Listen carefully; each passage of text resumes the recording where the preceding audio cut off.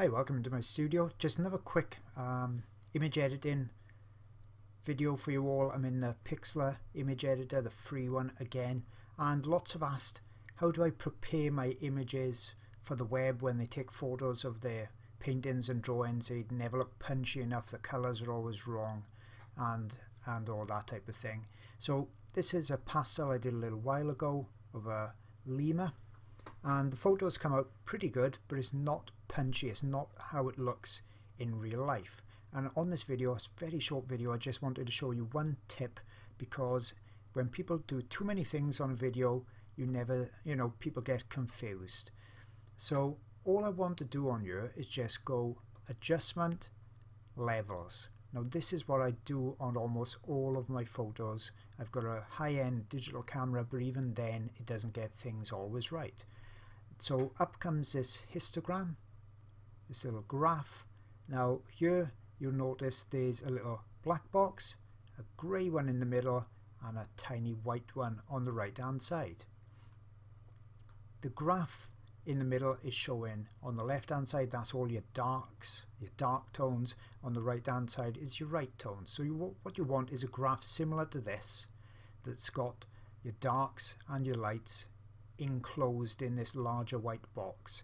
If it's too far over this side the darks will be blown out. If it's too far over this side the whites will be blown out. So I know I can work within this and capture everything without blowing anything out. So if I grab the little black box, click it with my left mouse, hold it down and drag it over. You see the dark, if I go back you see the dark going darker on the drawing, on the picture, and I take it just to the point where the dark is starting to go up.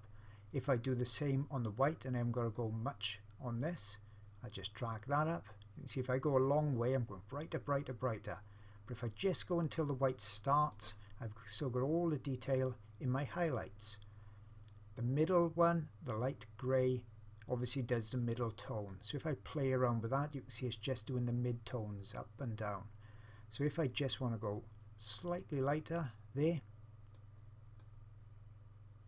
about there I think, and then I can say OK. If I then check back and have a look how it was, and now how it is, so you can see how we can get it much, much punchier. So that's a little tip, something I do with virtually all my videos, uh, all my images, sorry, before I put them online. Hope that helps and see you all again real soon. On my tutorial website, that's jasonmorgan.co.uk, I've got lots of full-length videos, some up to 8 or 9 hours long. I've got ebooks on there as well.